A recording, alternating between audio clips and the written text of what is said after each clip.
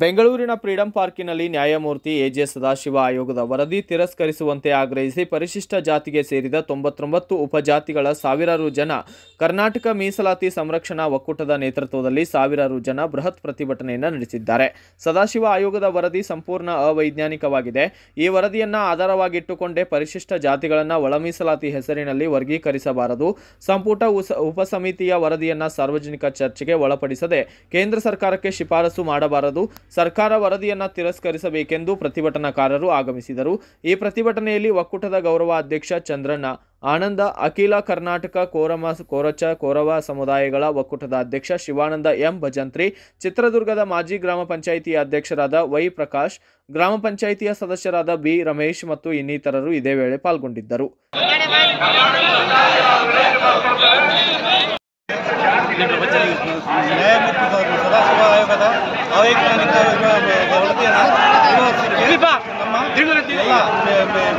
ಸಂರಕ್ಷಣಾ ನಾವು ಚಿತ್ರದುರ್ಗ ಜಿಲ್ಲೆಯಿಂದ ಬಂದಿದ್ದೀವಿ.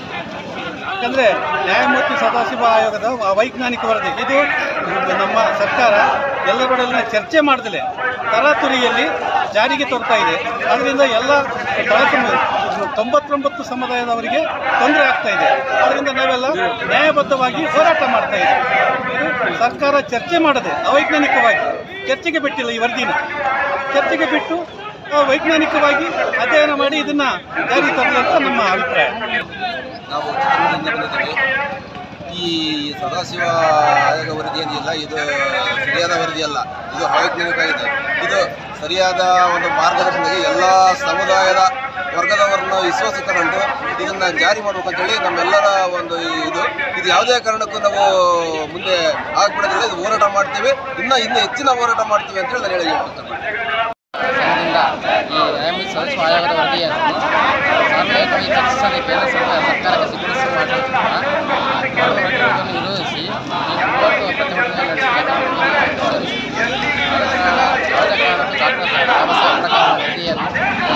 bureau report Pratap Chauhan Bharata Vaibhava news Bengaluru.